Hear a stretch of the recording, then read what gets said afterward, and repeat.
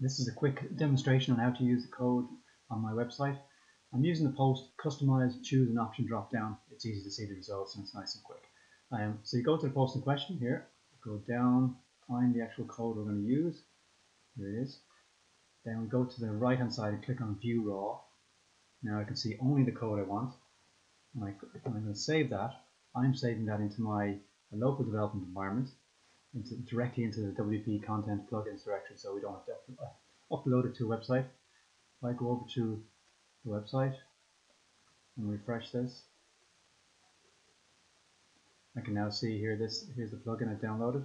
I activate that plugin and then I'm going to go over to my website. and see it. This is before we do it. Refresh this page and we'll see that plugin in action. So it says choose size and choose color color instead of saying choose option. That's it.